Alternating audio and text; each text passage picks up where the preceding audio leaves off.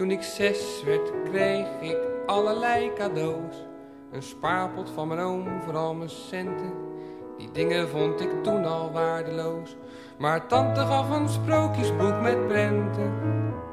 Het mooist van alles, en na veel geblader, zag ik een draak met ridders in gevecht. En op een zondag vroeg ik aan mijn vader: Papa, draken, bestaan die echt? En mijn vader liet niet eens een krantje zakken om te zeggen dat die zeker wel bestonden. En nog steeds de onvoorzichtigen verslonden, die probeerden om de schatten af te pakken. Die die draken altijd in een grot bewaken.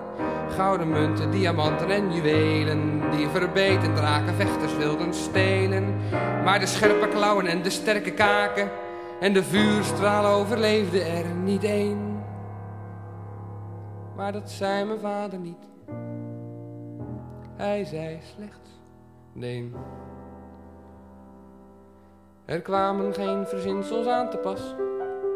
Hij maakte het niet mooier dan het was.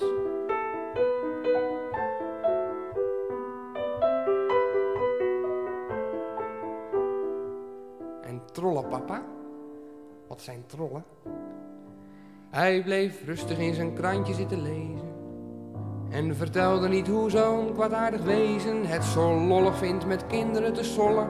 Die hij zomaar wegrooft bij gewone lieden. En dan in zijn hol gaat rijteren en plagen. En bespugen, martelen en angst aanjagen. Met zijn ladroogjes die geniepig spieden. Daarna vreet hij ze pas op en boert voldaan. Maar mijn vader zei, die hebben nooit bestaan. Er kwamen geen verzinsels aan te pas. Hij maakte het niet mooier dan het was.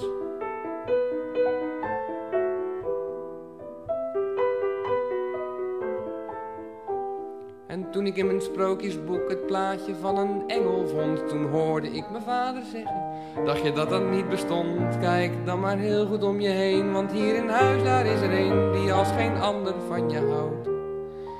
En van je broertjes allebei, en van je zusje en van mij.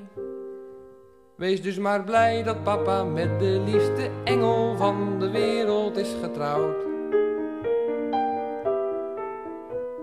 Maar zoiets heeft mijn vader nooit gezegd. Hij heeft niet eens een krantje weggelegd.